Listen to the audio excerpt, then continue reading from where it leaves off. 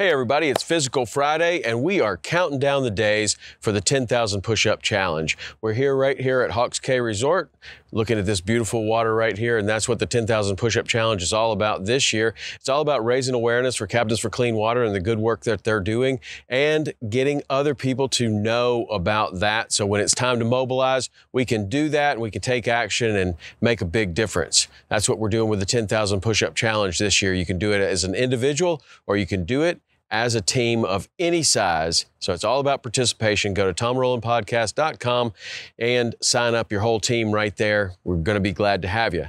Other people might be thinking about doing this next year.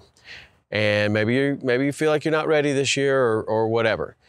Whether you're getting ready for next year or whether you're you're getting ready to do the 10,000 push-ups, you're probably doing a lot of different kinds of push-ups right now. That's what we're going to talk about today on Physical Friday are many different variations of push-ups. Now, if you're doing all of your push-ups in a standard way, either with your elbows close to the body or the elbows flared out, when you're doing the 10,000 push-up challenge, you may encounter some aches, pain, soreness, and you may want to try to do your push-ups differently. So we're going to show you a couple of different uh, styles of push-ups that you can try, but also we're going to go into something that I just learned this week when I had a great opportunity to spend the day with Diamond Dallas Page, professional wrestler. He's also the inventor and creator of DDP Yoga, and he showed me a push-up workout that we're going to do together here in just a second.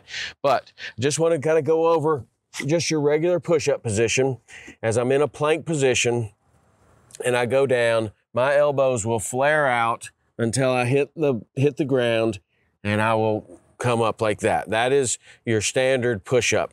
I can also keep my elbows close into my body and do push ups like this.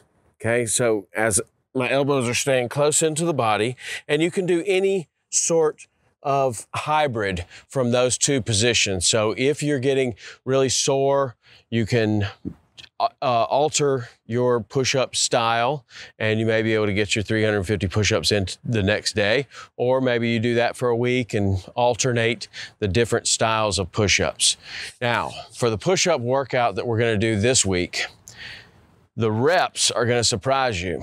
We're going to do five reps okay five push-ups. It doesn't sound very hard, but when you do them the way that Diamond Dallas Page is doing them, they are challenging. And this may not be the style that you want to do for the 10,000 push-up challenge because you're only going to get five and it's going to be very challenging.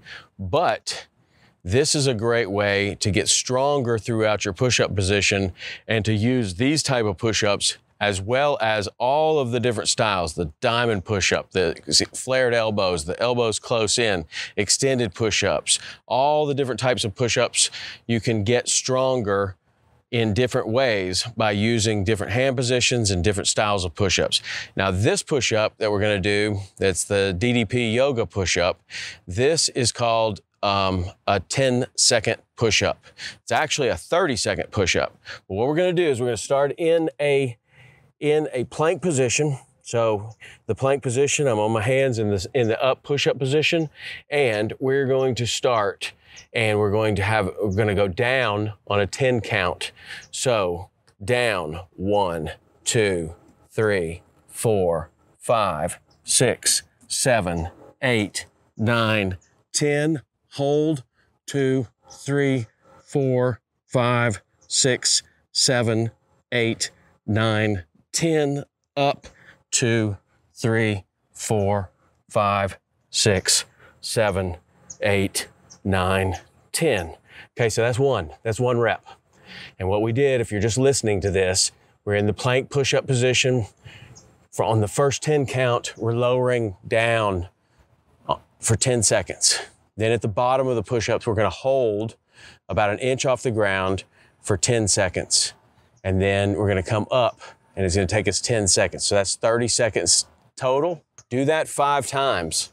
I think it'll surprise you how difficult it is, and it will also give you a different stimulus They're also stretching. This is a good way to get rid of soreness after you've been doing a ton of push-ups and a good way to get stronger in this position and stronger throughout your push-ups by doing them very, very, very slowly and holding both at the top and the bottom. All right, that's the DDP Yoga push-up. Stand by for an awesome podcast with Diamond Dallas Page himself and some videos of me doing DDP Yoga with him. All right, we'll see you next week on Physical Friday.